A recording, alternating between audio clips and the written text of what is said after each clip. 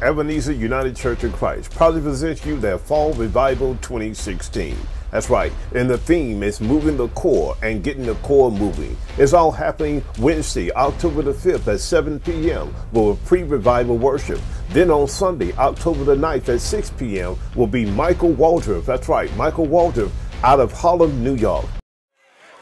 They, they don't come to the storm without experience. They come to the storm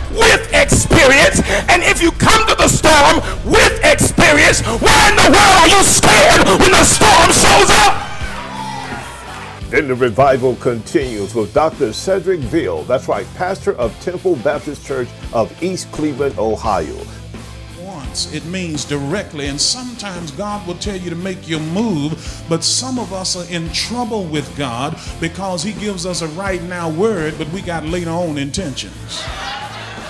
You see, if you're really going to survive your storm and your situation, when God says move, then that's when you got to make your move. You don't want to miss this awesome revival. That's right, all happening at Ebenezer UCC, located on Apple Street and Burlington, North Carolina, with a Dr. Larry E. Covington's the pastor. Make sure you come out. That's Ebenezer United Church of Christ, 734 Apple Street and Burlington, North Carolina, moving the core and getting the core moving.